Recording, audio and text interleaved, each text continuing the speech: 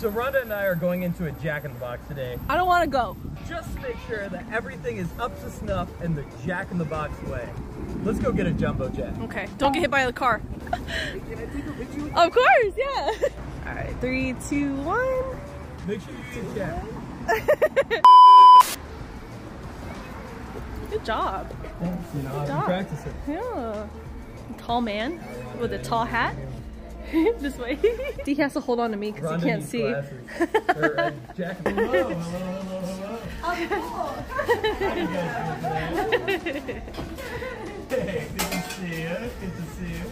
We're here just to try out uh, the Jumbo Jack, you know. Got to make sure that everything's up to the Jack in the Box way. Silly. Yeah? I'm ready. I'm ready. I've been waiting for this. You know, hey, hey, hey, hey. Okay. listen, listen. Uh, I, I, I can't.